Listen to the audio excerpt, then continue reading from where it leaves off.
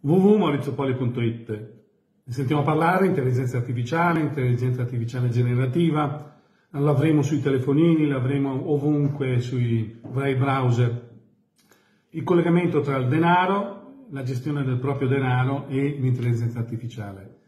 Sì, mi dice, non, non mi interessa un consulente finanziario, chiedo direttamente all'intelligenza artificiale di programmarmi per la mia impresa, per la mia famiglia, la gestione del denaro, eh, vista come, sia come investimenti, sia come, eh, come debito, come la gestione proprio del denaro. Ma la differenza è conoscere le domande da fare l'intelligenza artificiale. Che domande faccio? Quali sono le domande che riguardano la mia impresa, la mia famiglia, la mia persona? Quindi conoscere per decidere farà sempre la differenza. Quindi la conoscenza e la domanda che verrà fatta all'intelligenza artificiale. Buone domande.